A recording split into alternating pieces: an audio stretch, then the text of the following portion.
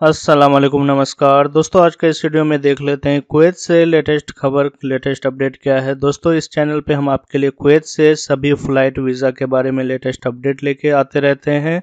दोस्तों, अगर आपने अभी तक हमारे इस चैनल को सब्सक्राइब नहीं किया तो कुवैत से सभी खबर देखने के लिए हमारे इस चैनल को सब्सक्राइब कीजिए। तो चलिए दोस्तों, देख लेते हैं कुवैत से लेटेस्ट अपडेट क्या है, जो आज की पहली खबर है। यहाँ पे आपको बता दें कि कुवैत हेल्थ मंत्रालय की ओर से बताया गया, जैसे कि कुवैत के अंदर पार्टियल कर्फ्यू लगाया गया, उसके अंदर अभी ना तो बढ़ाने के लिए या फिर कर्फ्यू को हटाने का कोई भी आदेश नहीं दिया गया है। जो कुवैत कैबिनेट की लास्ट मीटिंग हुई है, उसके दौरान प्रस्ताव रखा गया, लेकिन जो यहाँ का हेल्थ मंत्रालय है, वो जो यहाँ का बढ़ते हुए कोरोना वायरस है, उसके ऊपर मेज़रमेंट करने के बाद ही कोई अपडेट आएगा या फिर बताया गया है कि कुवैत में जो कोविड नाइन्टीन का केस में कमी आएगा उसी टाइम जो यहाँ का पार्टियल कर्फ्यू है, उसको लेकर के भी कोई अपडेट आ सकता है।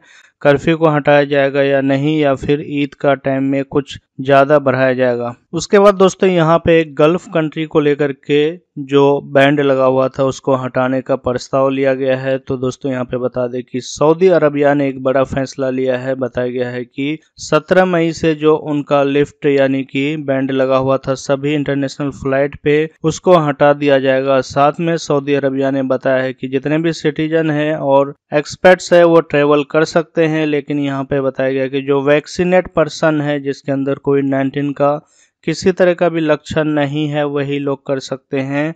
और साथ में बताया है कि जिसको पहले कोविड नाइन्टीन यानी कि कोरोना वायरस हो चुका था, अगर वो रिकवर हो गया है तो वो लोग भी सफ़र कर सकते हैं। यानी कि दोस्तों, सऊदी अरब जाने वालों के लिए या फिर सऊदी से वापस आने के लिए एक अच्छी खबर है कि 17 मई से बैंड किया हुआ है सब इंटरनेशनल फ़्लाइट, उसको हटा दिया जाएगा। यहाँ पे बताया गया है कि इंटरनेशनल एयरपोर्ट को भी खोल दिया जाएगा और जो शिप यानी कि पानी के ज़रिए जो भी कार्गो या फिर पैसेंजर जाते हैं, उसको भी ओपन कर दिया जाएगा। उसके बाद दोस्तों, कुवैत से अगली अपडेट आपको बता दें कि कुवैत के अंदर 21 रमज़ान कंप्लीट हो गया है। साथ ही में कुवैत ऑफ़ मिनिस्ट्री ने आदेश दिया है कि आने वाला यानी कि एक हफ़्ते बाद जो ईद होगा, उसके अंदर किसी तरह का भी गैथरिंग या भीड़ भाड़ ना लगाएँ। हो सकता है अगर किसी तरह का खतरा हो तो उस टाइम फुल लॉकडाउन भी लगाया जा सकता है।